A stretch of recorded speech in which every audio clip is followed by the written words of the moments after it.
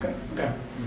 Um, Mr. Uh, Lamin Manga, you, um, I must uh, really ask you how you feel today, being the, um, the, the, first person whose radio station is going on air in the history of the Gambia, Gambia's media industry. So how do you feel today?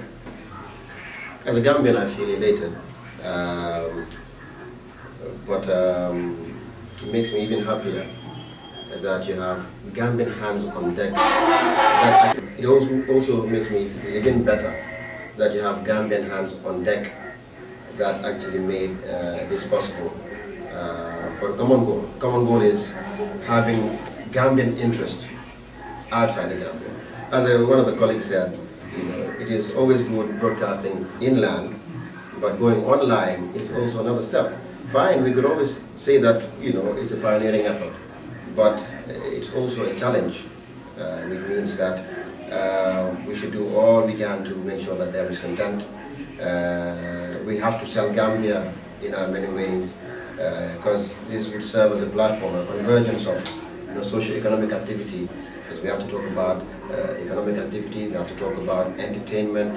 Uh, when you talk about entertainment, you mean we should be playing a lot of Gambian music, um, which is also a challenge for some of the musicians that uh, will be watching this interview because um, uh, we also have to send out the right signals to the world. You know, uh, it's not just about playing any song uh, just for the fun of uh, uh, promoting it. We also want to play something that would be at par with the rest of the world because uh, it's been a while uh, that you had other countries from different parts of the world that were online or radio stations that have been and they've been uh, showcasing what they have on offer. So we need to also use this platform to show what we have and uh, use this opportunity to um, um, to um, positify the Gambian interest in all respects. You know, I'd like to take this opportunity to thank all the parties that were involved, Mr. Kah, uh, Mohammed Kah, who was the inspiration behind it. And of course, uh, Mr. Fanding Jai for um, coming up with um, that there is to make it happen. And, and the staff behind Unique FM, you know, who in no small measure uh, played a big role. And of course, um, uh, the guys that have put on or um, facilitated the um, wireless internet service, that is Unique Solutions, uh, for setting up the platform. So, in earnest, the way I see this is a positive story and we all have uh, a daunting task to make it work, to make it happen, and uh, have a common interest in uh, showing what Gambia has to offer.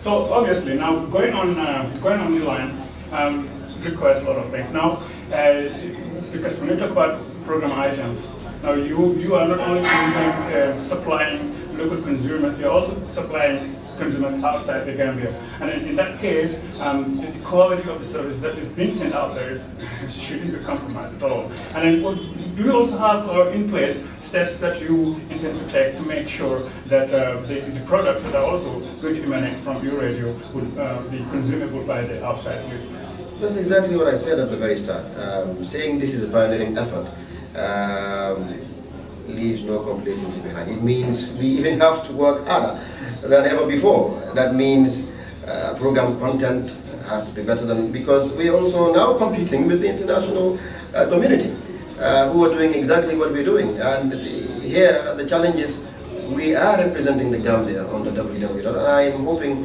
uh, in due course there'll be many more radios doing the same.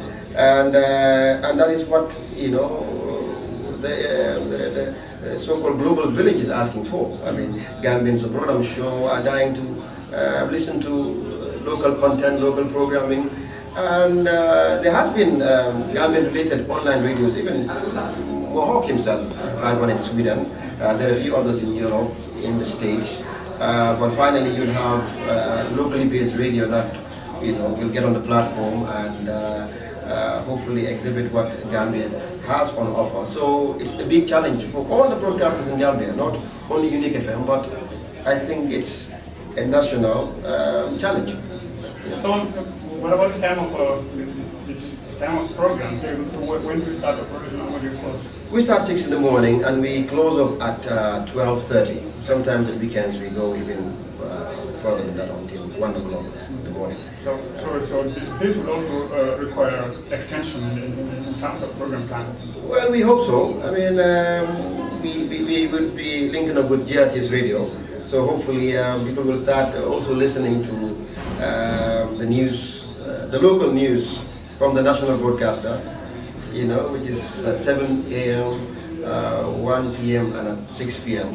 And uh, Gambians around the world will also get an opportunity to listen to uh, local radio, which was one of the things Mustafa wanted to uh, get some of the, um, to get um, uh, Gambian radio, national radio, our radio, um, on the internet. So uh, in essence, it's uh, a blessing in disguise. So we, uh, we're having all hands on deck, as I keep saying. This is Gambians on hand for the common goal to positify the Gambian interest worldwide. A positive move for that matter. So we, we wish you all, all the best and then we pray that everything goes well. Thank you Thank so you much. very much, Thank Mark. you.